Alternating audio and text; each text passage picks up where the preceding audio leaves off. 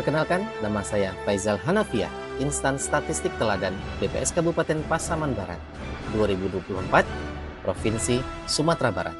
Yuk!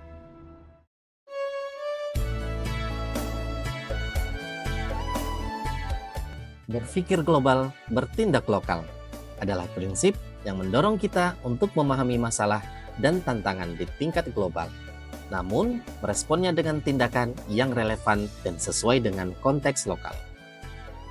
14 tahun bekerja di BPS Kabupaten Pasaman Barat, saya telah melalui banyak hal, mulai dari menjabat KSK di beberapa kecamatan, operator SAKPA, Saiba dan Simak BMN, bendahara pengeluaran, hingga akhirnya saya diberi amanah yang luar biasa menjadi anggota tim sensus humas, dan zona integritas.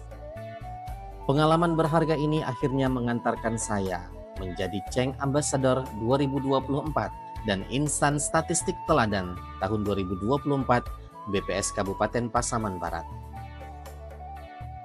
Sebagai anggota tim Humas dan Ceng Ambassador tahun 2024 BPS Kabupaten Pasaman Barat, saya mempunyai proyek perubahan yakni Berkah Bekerja atau disingkat berkinerja.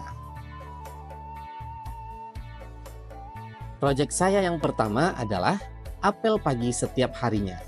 Tujuannya adalah menumbuhkan sikap disiplin pegawai dan memupuk rasa kebersamaan antar pegawai di tengah gempuran teknologi yang semakin membuat kita berjarak. Proyek kedua adalah pegawai menjadi humas.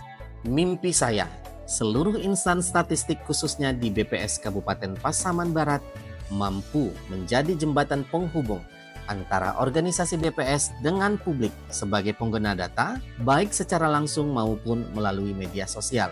Membranding BPS menjadi organisasi yang profesional dan lebih dikenal masyarakat luas. Pengalaman saya sebagai humas di BPS Kabupaten Pasaman Barat sebenarnya cukup panjang.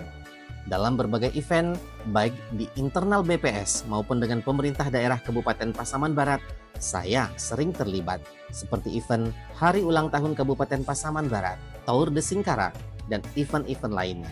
Saya selalu membranding diri saya sebagai pegawai BPS Kabupaten Pasaman Barat. Seorang tokoh bisnis dan penulis Inggris, Richard Branson pernah berkata, Publisitas sangatlah penting. Cerita PR yang bagus jauh lebih efektif daripada iklan di halaman depan. Salam Humas. Tunjukkanlah kepada